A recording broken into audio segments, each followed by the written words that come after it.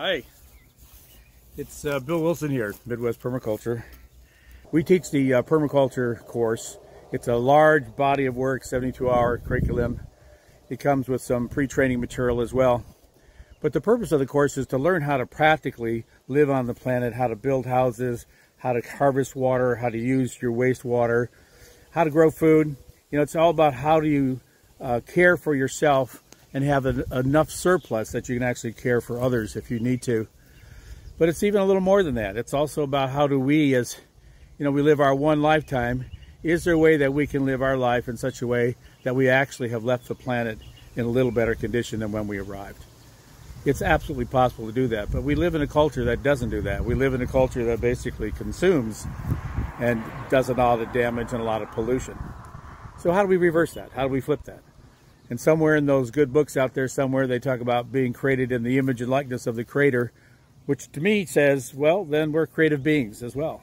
And we can create beauty, wonder, abundance, and security for ourselves and others.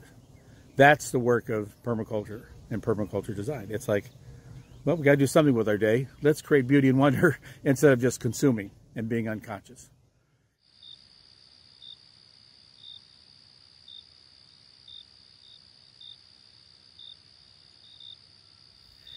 Uh, I'm down here working in our old apple orchard. This is an orchard that was put in 50 years ago and some of the trees are really hurting.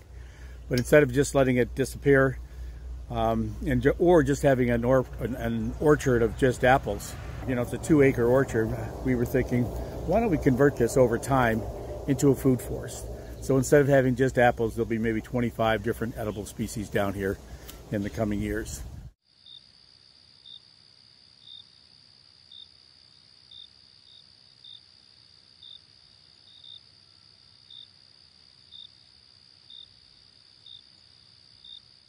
So if, if this makes any sense to you, if this resonates, I'd love to see you. I'd love to meet you. And uh, we'll go through this curriculum. Um, most people who've gone through it say it pretty much, it blew their mind.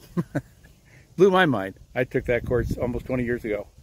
And because of that, I felt like we needed to share it in the Midwest. So that's what Becky and I have been doing for 17 years. And if it makes sense to you, love to meet you. Love to have you.